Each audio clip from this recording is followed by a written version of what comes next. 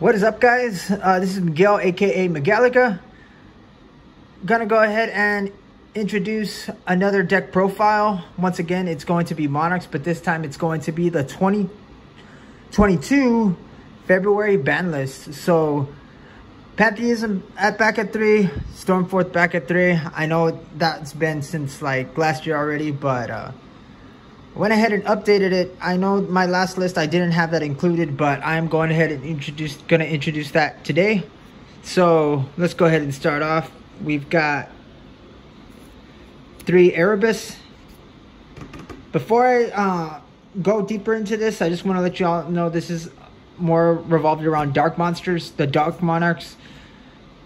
And uh, I'm gonna go ahead and show you how I basically revolved around that. So three Erebus, uh, best Monarch card in my opinion, best level eight. So uh, uh, you always want to have your Erebus. Uh, can pitch your other three Monarch uh, spell and traps. So Erebus, pretty good. The troll card, Majesty's Fiend, well not exactly a troll card.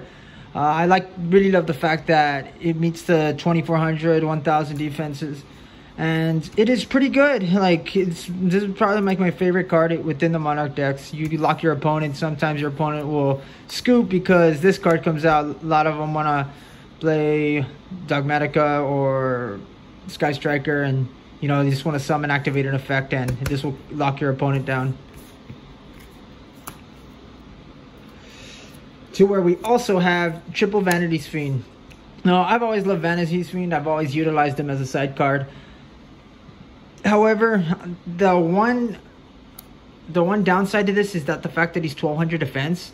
Uh, so you can't really add him to your hand. You can't uh, utilize tenacity with with him. So, but he is pretty good as far as uh, being a tribute summon monster and being able to utilize other cards around him that require having a tribute summon monster. So Vanity's Fiend is pretty good.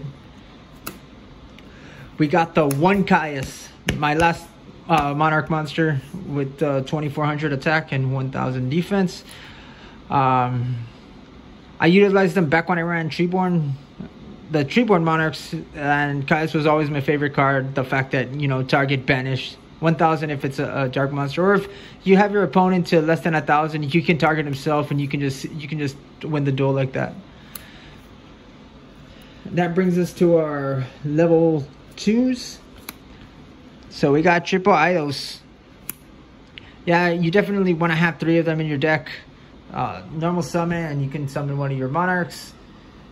Uh, guess the uh, and then also if you banish them from the graveyard, you can special summon your other squire, which is going to be uh, double Edea. Now I've procrastinated on if I wanted to run three of them, but I've I don't know. As for some reason, I would always end up bricking with three, but I found it really essential just to have two in the deck, and it's been pretty useful. Uh, just running running uh, this guy at two, and then summoning summoning the Eidos, and you'll be able to bring out your Erebus. So it is good at two. I, I honestly believe. That wraps it up for the monsters. Let's go ahead and start with our spells. We have uh, Triple Stormforth. The fact that it's back at 3 makes Monarchs uh, relevant again.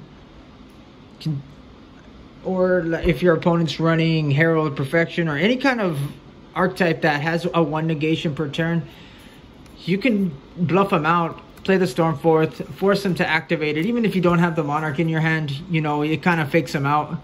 So that's what I utilize Stormforth a lot for. Triple Domain. Now, the key element that I, I really love Domain for is not because of the, the fact that you can lower the level 8. Of course, that does work for Erebus pretty well, but I love the fact that it denies your opponent from summoning from extra deck. A lot of decks nowadays revolve around the extra deck. So, I mean, you can summon Majesty's Fiend or Caius and you can still have a pretty strong board. Or even with your Erebus, open up with Erebus and this and it's you pretty much have a strong play already. And one Return of the Monarchs. Uh, pretty good at, you know, just if you just want to keep adding Monarchs to your hand. But I only need to run one of them. Uh, the fact that I'm not running the other level 8 Light Monarch, but uh, having it at one's pretty good. One Frost Blast of the Monarchs.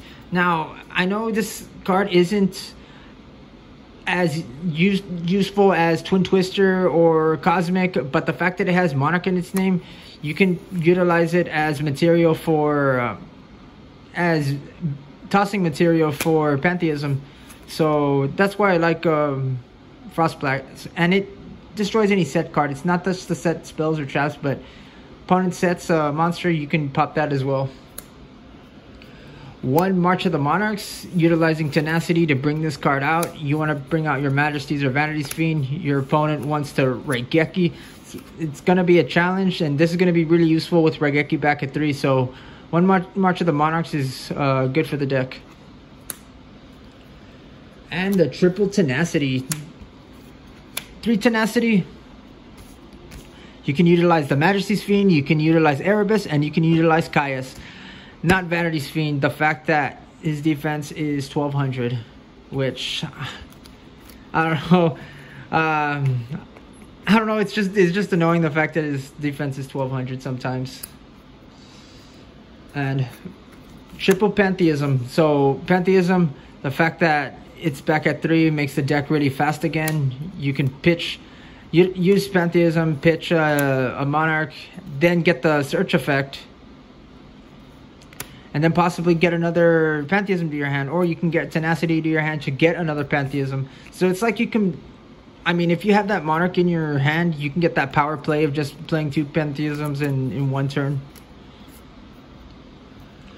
That's it for our spells uh, monarch spells so we got our we got our trap cards we got monarchs erupt very good. I know a lot of Monarchs players don't run this card, but I found it really useful. The fact that you can summon a monarch. Your opponent could uh, impermanence you, or whether you have Vanity's Fiend or Majesty's Fiend, negate your effects. But you can, you know, you can throw this on them if they try to start a combo play on you, and you, it'll completely shut them down. So I think this is actually a really good card, a really good trap card to to utilize with your monarchs. And we got our triple prime monarch. Uh, very good with um, with Pantheism, allows you to special summon also from the graveyard, has a good field effect to let you draw one card if you shuffle two Monarchs from the graveyard and back into the deck. So Prime at 3 is pretty good as well. And we've got Foolish Burial Goods. Now something about this card is that when Monarchs first got hit, this card wasn't around. But the fact that that Pantheism and Stormforth are back at 3, this card can be used to dump Pantheism and actually use it on your first turn. So I think this is a really good card. You could dump Pantheism, you can dump Prime, and you know, you can actually pull off a play on your first turn just to avoid bricking. This, I believe this is the one card that'll actually save you from bricking.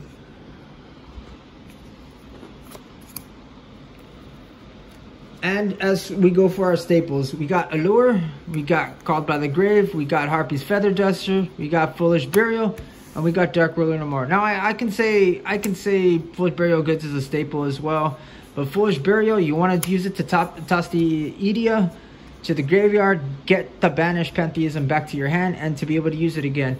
Dark Ruler no more. Your opponent goes first. Well, if your opponent goes first, you, your turn and you can utilize the Dark Ruler no more. You can stop other monsters, and you can uh, do your play, get your Monarch out, and you could possibly lock your opponent. The Feather Duster. Opponent sets back row. We all know the story. Back row, Feather Duster. Called by the Grave. Ash Blossom. Uh, yeah, pretty much Ash Blossom. If you know your opponent's gonna have it in the deck, this card's gonna this card's will do the job for you and we got Allure of Darkness. We got the triple level 2 monster, we got the, the one Caius, we got the triple uh, Vanity's Fiend, and we got the triple Erebus. So that, this is really good at speeding up your deck, just in case you uh, don't want to brick to avoid the bricking. So Lure Darkness is pretty good in this situation. So I didn't prepare a side, and there is no extra deck for this deck, but um, I did consider Solemn Judgment also just in case, uh, you know, Raigeki back at three, but for now, th this is what's been doing it for me, getting me to Platinum on Master Duel.